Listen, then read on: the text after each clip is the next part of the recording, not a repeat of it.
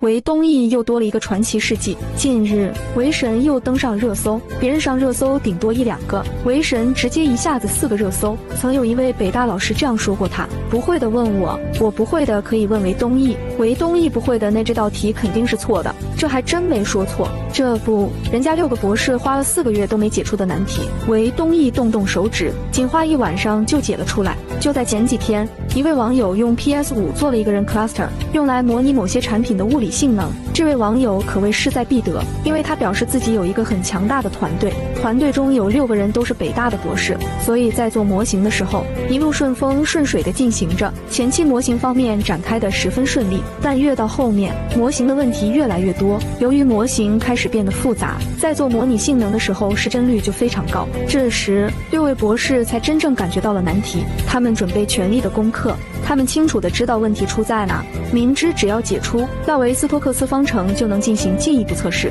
但是这对于他们来说难度极高，所以苦心冥想了四个月还是没有解开。于是团队就开始想办法。天无绝人之路，在五一前后，团队中有个人说认识韦东奕，想看看他能不能帮我们的忙。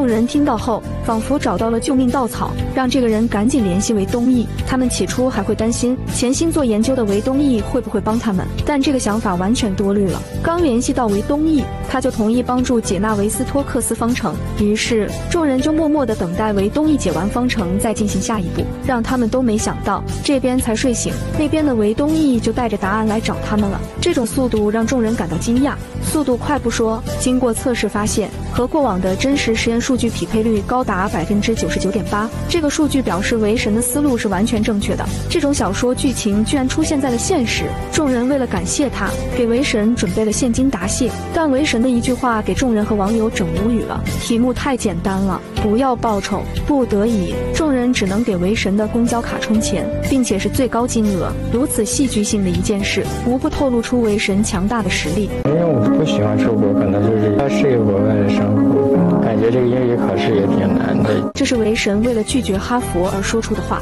因为哈佛为了得到他不惜打破百年校规，学识让哈佛兜手养的韦神，从小就展现。出不俗的实力。韦东奕出生在山东的一个教师家庭，父母均是山东大学的教授。由于父亲是一名数学教授，家中关于数学的书籍数不胜数。普通孩子看到家中那么多的数学书，躲还来不及呢。而韦东奕却如看到新大陆般异常的新奇。当其他孩子还在看漫画书和玩泥巴时，韦神早就翻来了数学书，开始了计算。当其他孩子还在为加减乘除一头雾水时，韦神早就研究更深层次的数学问题了。在上小学一年级的时候，韦神偶然间看到了一本名叫《华罗庚学校》的书后，更是一发不可收拾的爱上了数学。从此，韦神在数学的道路上越走越远，但在生活上却越陷越深。满脑子都是数学的他，在生活上。已经失去了部分的自理能力，生活上一些力所能及的事情，对于为神来说都有点困难。为神母亲也不厌其烦地帮助为神的生活。在为神上初中时，他上课老是迟到，老师问他为什么迟到，他的回答让老师也是相当无奈。他说：“我不会骑自行车，所以只能走路上学。而且别看为神是数学天才，他偏科十分严重，数学满分的他，语文却经常不及格，这也让老师们很是头疼。”在初二的时候，韦东奕。被发掘去了山师附中的奥数训练队，从此他研究数学之路更是一帆风顺。在训练队的一次解题中，让教练们瞬间颠覆了对韦神的认知。他们知道韦神很强，没想到这么强。在解一道很难的奥数题时，教练花了三个小时才解出来，而一旁的韦神同时也在跟着教练做，没想到只用了一个小时就完成了解题。如此的天赋让教练们更加重视韦神。在教练们的帮助下，韦神一路过关斩将，被北大录取。在被北大录取之前，也是拿了很多数学方面的奖项。在北大毕业后，韦神还想继续学习，于是很多学校给韦神抛出橄榄枝，哈佛也在其中，更是为了得到他打破百年校规，可以不看他的英语成绩直接录取，并且还配备翻译。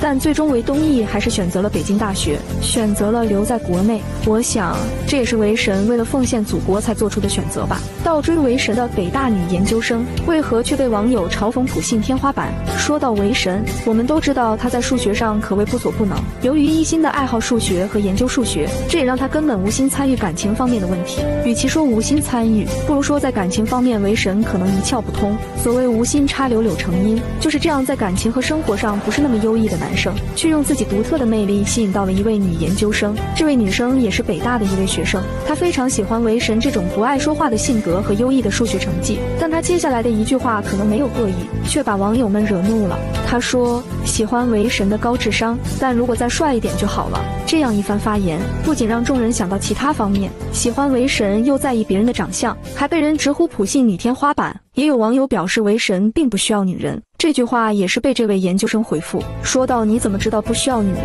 在遭到网友们的不断抨击，这位女研究生也不坐以待毙，直接发文声称自己喜欢韦神的具体原因。韦神在她眼中很特别，一里挑一，对待事情十分专一，是这个社会真正意义上为数不多的优质偶像，是当之无愧的男神。更多的是处于欣赏和仰慕，呼吁网友们不要再黑他了。也不知道这位研究生是真正的喜欢还是博流量。不过，作为人文社科专业。的他却经常跑去听为神上课，虽然他自称听不懂，回去立马就忘掉，但对于听为神上课，他还是乐此不疲。研究生也是下定了目标，在二零二二年一定要追到韦东奕。也有网友吐槽，如果有女生跟韦东奕成了，馒头肯定管够，就是估计平时说话的时候会找不到话题吧。聊数学可以滔滔不绝，但聊别的估计就会一问一答。很早之前，韦神在一次采访中就表明，暂时不会去谈感情。正所谓心中无女人，拔刀自然神。想必没有感情的左右，韦神在数学领域上肯定越走越远。对于感情的事情，衣服穿在自己身上才知道合不合适，所以韦神肯定知道自己什么时候想要一个什么样的。我们还是对此保持一个美好的期待吧。